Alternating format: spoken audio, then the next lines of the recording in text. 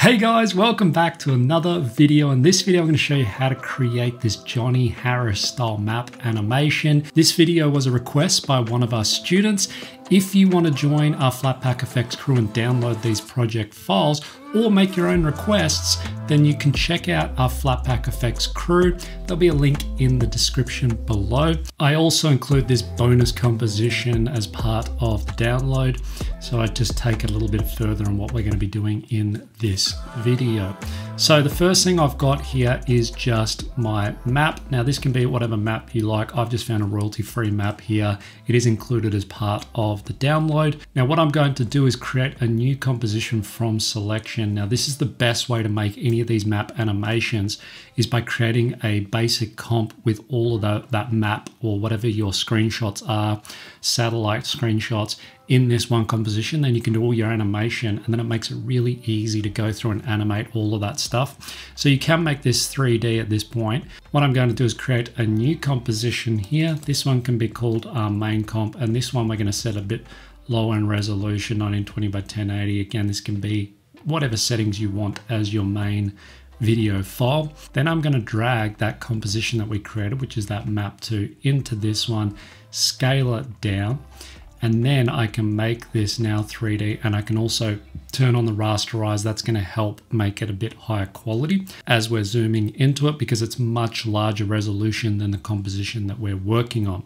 Now back in that map composition, what I'm going to do is I'm going to grab my pen tool here and I don't want anything selected because all I'm going to do is just select the area of the country that I want to basically highlight. Now, this is one way of doing this. You could just find, say, like an outline or a map of that particular area that you want to highlight and then overlay it if you want to be exactly sort of accurate. But this is absolutely fine and it does the same sort of thing for what we're trying to do here. Now I can turn back on the fill layer. I don't want to stroke on this and this can be sort of like the color that you want to highlight it in. And we should end up with something that looks like this. Now, what we want to do now is basically draw out our path of, you know, maybe it's like a point sort of showing where the ships are going, or it could be for trade or whatever you're trying to represent in your map. But basically for this one, what we do is we don't want a fill. So we're just going to set this to have no fill. And I can set the stroke color to basically be a very similar color to that area that we just highlighted. So this orange sort of color here. And then I'm just gonna sort of draw out a line here, which sort of represent the path of travel, something like that.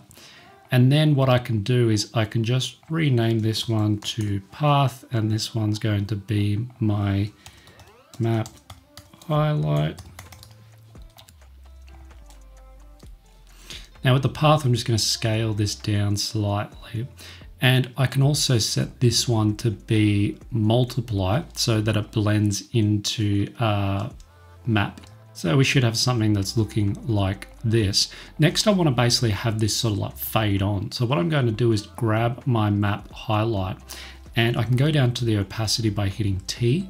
And I want to start by sort of just maybe making this zero, go across a few frames, scale this up, something like that, and then bring this back down, not to fully back to zero, but just sort of up like that, and then maybe back up to 100. So we kind of get this flashing on or like this sort of fade on effect. You can mess around with those settings to get more or less, bring them closer together if you want it a bit faster even slow it down. You can even make these easy ease will help will help the overall animation just kind of sink in and that's looking pretty good. What I also want to do is with my path, I also want to do the same thing. But for this, what I'm going to do is just copy those opacity keyframes that we've already created and just basically paste them onto that layer. So we get the same thing happening there. But with this one, what I want to do is just rename this one to basically be like the orange color, just so I know what I'm doing. I'm gonna take that and I'm gonna duplicate it. And with the one, with that one that we just duplicated, I'm just gonna rename this one. as the path because we don't want to have a color on this one. So what I'm going to do is just make this white. Now the problem with making this layer white is if we bring up those opacity keyframes, what I want to do is basically delete these keyframes here. With that first one, what I'm going to do is have this set to be like 70%. And what I want to do, the problem with white is it won't work as a multiply blending mode. So we need to change this to be normal. And if I scale down on this opacity, maybe like 60 or 70 or something around that, what I want to happen is I want this to then fade to zero over the course of that one fading on. Now you can adjust this one in slightly to delay that sort of fade off effect. But basically we want the white one to disappear and we want that orange one to sort of fade in over the top. So we kind of end up with this effect. Now, if you want more or less of that, you can just dial this up. But basically that's all we're doing to create that line. This is just a really simple way of doing this. Now, once we've got all those, we can make all those layers 3D, and that's just gonna help basically when we go back to our main composition, and we're gonna create now a camera, which is going to be used for uh, animation. So now what we can do is we can bring the camera in here, and I'm just cycling through my camera tools by hitting C on the keyboard, and I'm just gonna basically bring the camera down like this, and then sort of bring this down, something like that, till we kind of get our starting point. Create a point of interest and a position keyframe, go to the end of the composition,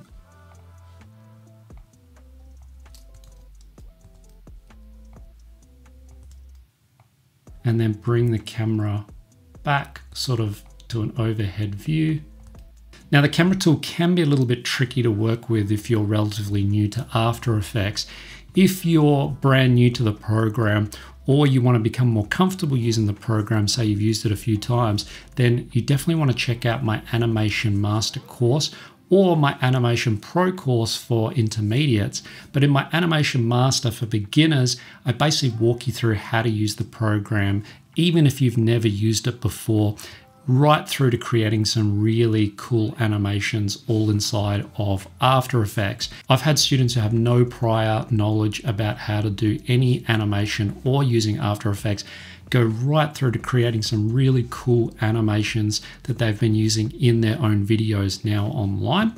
If you're more of an intermediate and you want to become more comfortable in After Effects or you want to advance your skills, then check out my Animation Pro course. We dive even deeper into After Effects to create really cool animations that stand out and capture people's attention. I teach you all about layering techniques, but the main thing that I really focus on in both courses is using the camera tools or creating 3D dynamic movements, which is a large part of what we do in animations. So it really creates that dynamic camera movements to really make your animation stand out. So show you really how to master those things and really understand how to use those tools for creating animations. You can check out both courses via the links in the description and read all of the student testimonials. The next thing we're going to do is just turn on motion blur and this is really where the magic happens because I'm going to scale up on this aperture. Then I can adjust the focal point. So as I'm scaling this back, you can hold shift if you want to move this faster forward and backwards. I'm just going to scale up a little bit more. And then I can set a focal distance point here. And as I move along my timeline, I'm going to readjust that so it kind of lines up now, you know, shifts the point of focus. You can even scale up on this aperture if you want a shallower depth of field. So something like this is starting to look quite good. Maybe bring the camera up towards the top of my screen right here. So you can sort of animate that movement. Now what I can do is when the camera roughly gets to here, I'm going to go back to my map comp. You can see this is why you want to do this all in one composition because it makes it much easier to animate all of this stuff in this main composition first. So once I've got that, I'm just going to drag this across so that it sort of animates on at that point that the camera sort of comes into view. So, uh, so for this first part, we want to highlight this section. And that's essentially what I did here in my original composition is I just created another one. So I just repeated that process by creating another line here by just duplicating it, changing the colors, basically drawing out another line following those exact same steps.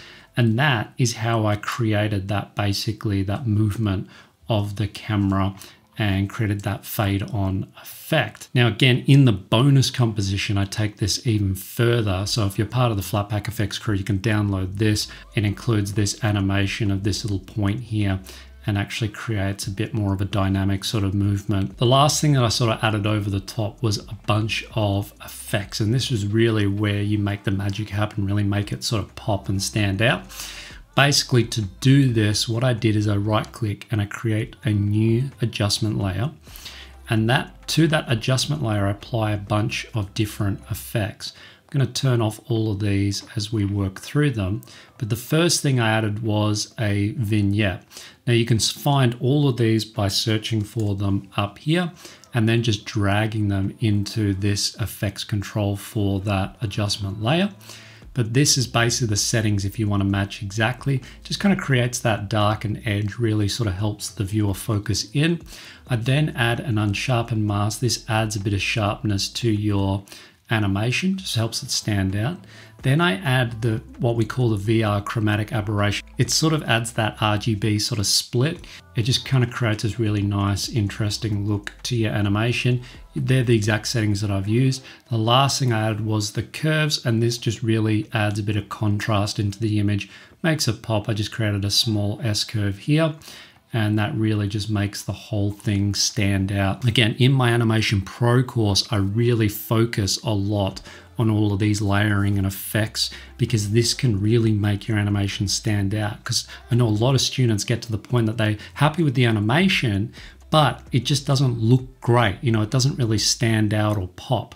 So this is, is sort of like the icing on the cake. This is how you really make you know, all of this stuff really stand out. It's like adding a really good color grade to your video footage. So it can really make a huge difference to all of this stuff.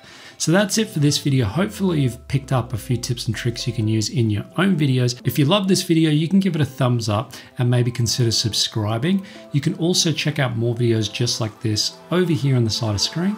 Thanks for watching and I'll catch you in the next one.